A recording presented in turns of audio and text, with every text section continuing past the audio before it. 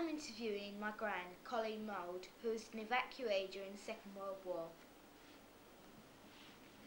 Where were you evacuated to? A town called Perranporth in Cornwall. What was it like on the day you were evacuated? Oh, as far as I can remember, it was scary. We were all very sad. I remember my mum had to take myself and my older sister and my younger brother to the school.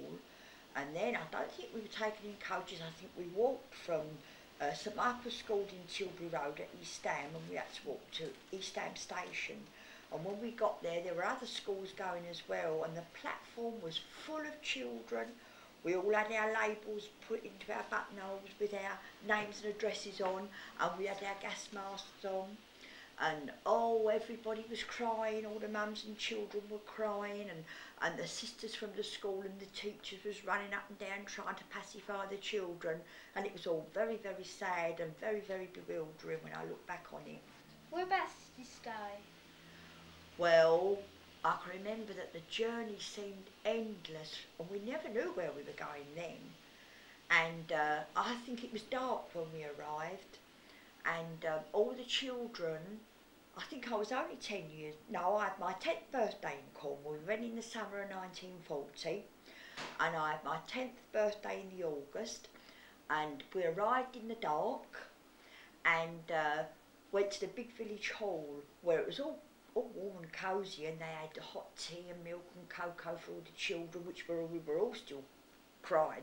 In fact it was worse by this time because we'd been on the train journey for at least eight hours. In those days it wasn't fast travel like it is now on the steam trains and um, it was a big hall and there was lots of people and lots of officials and lots of ladies and gentlemen there waiting and of course it turned out that they were all waiting to choose who they would like to have with the children to take to their homes and look after them. So we all had to wait about and see what happened. Who did you stay with? Well, we were very lucky because we didn't want to be separated. My mum said to me, whatever you do, she said to my biggest sister rather than me, whatever you do, you've all got to stay together.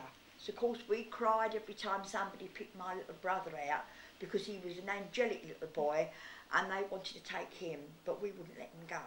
So eventually this lady came along and she took us three and she took some other children as well from our school and I think there was about eight of us all together.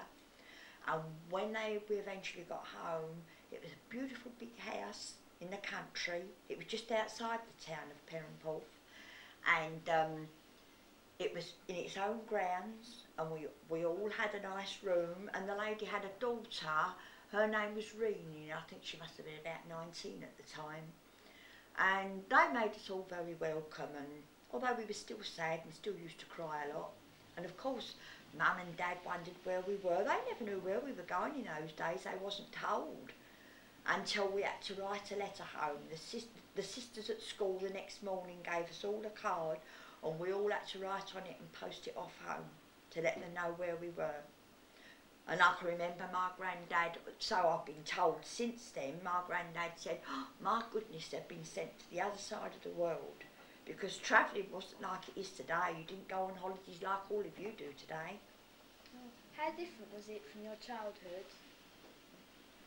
Well, when we before the war actually started, I mean, we used to be at home. We we lived in a flat. Uh, it was a large flat with three bedrooms. We wasn't squashed up, and, and, and we were a comfortable family. My dad had his own greengrocer's business, and um, but nevertheless, by the time we got to Perranporth in this beautiful big house, well, it was a, it was like living in fairyland, I suppose. It was in a beautiful part of the country. Once we settled down, the lady used to take us on the beach, and we used to have picnics. And um, I can remember walking on the sand with no shoes and all the lovely soft sand being so hot. Um, we had a lovely childhood, really. Of course, we, we didn't have a school of our own. Or all the uh, London children that were evacuated, they shared the schools with all the local children. And it was all very small. And it wasn't only the schools that we shared with. The government in those days used to take over hotels. So some hotels were turned into schools and school halls and we used to share the children, the local children's school as well. But we didn't have a full day's um, schooling like you do.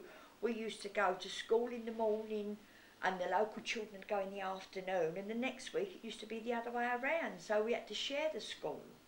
How long were you evacuated for? Oh, I was evacuated for almost seven years altogether because I didn't come home till, uh, till after the war. What are some of your childhood memories? Well, I suppose once we've settled down in, at Cornwall and, and we realised that this was like our second home because I was one of the lucky ones. My dad's business got bombed and uh, when it did, he and my mum, and I had twin brothers and an older brother still at home in London during those days, and they came down to Cornwall, and we found them a caravan to stay in, this lady knew. And my mum and dad and my younger brothers and my older brother stayed in the caravan, but there still wasn't room for us children, so we stayed with the lady we were billeted with. That's what it was called, to be billeted with somebody, like you stayed with them, and they shared their home with you. And uh, my dad came down because his business got bombed. And he had to go and work on the aerodrome because in those days you the men were either in the army or else they had to do munition work or work for the government. So we worked on an aerodrome, so I was a very lucky little girl because we were all down there together and it was a wonderful, wonderful life. How different was it from life today? Oh, so much, much different. I think we were very relaxed, and as children, we had so much freedom. I mean, we used to go and play on the beach like you might get taken to the park. We were lucky in those days, and we could go ourselves without our mum. So we're going on the beach, mum, and off we'd go, and we'd spend hours swimming in the pools, in the rock pools, and that's where I learned to swim in the rock pools in Cornwall.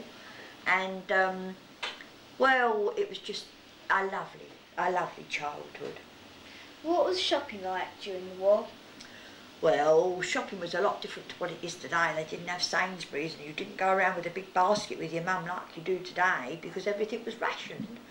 And I can remember my mum was registered. You had to be registered because you had a, um, a book that allowed you so much food per family. And my mum had all of us children and she had so much allowed to her.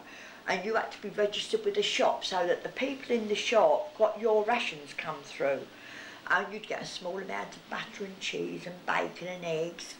And the things that were scarce were bananas. Don't ever remember having bananas. And uh, no sweets and chocolates. They were rationed and you had coupons, but they were still very scarce to get just the same. So what did you have instead of sweets? Well, I used to eat raw carrots. We was always eating raw carrots. I mean, we didn't even miss the sweets really because I, I suppose being that young, we hadn't got around to eating the sweets like children do today. But um, no, we didn't miss the sweets really. And clothes? Well, that was another thing. It was all make, do and mend. Mums in those days and big sisters done a lot of knitting and they used to ha uh, have coats and they used to cut the bottom off the coats and then they'd let in a piece of material from another old coat, the best part of it, and it'd be machined in so that it had a contrast going round the corner of it, and then that made it longer, and so you had a new coat. It was always make, do and mend. Oh, I could tell you so much more, but it'd take so long. Did you find it hard to make new friends? No, not really, because we were with all the children that were evacuated with us from our own schools and then we met all the local children. And um, in those days when there was a war on somehow or other everybody were very friendly and everybody was very helpful. And I was very lucky I can only remember happiness amongst my childhood days. And uh, I had one particular girlfriend and we stayed friends all through our school and through our teens and uh, then when we both got married, my friend Winnie went to uh, Canada to live. But she came from a big family like I did. And all her family were in Cornwall like mine. And um, her, her eldest sister married a local boy. So she's still got all her family in Cornwall. And I still hear from Winnie occasionally, my friend. And I still go back and see her sister in Cornwall. Have you been back to Cornwall since you was evacuated? Yes, lots of times. We've been to Cornwall. It's just like a second home now. And, and it's a lovely, lovely memories, full of lovely memories. do you think- Although it was a sad time, although it was a very, very sad time and there was so much unhappiness for a lot of people, I was one of the very fortunate lucky ones. Do you think it's changed much? What, or where I stayed? Where Well, no, actually, I don't think it has. No, it hasn't. It still looks just as beautiful. Thank you.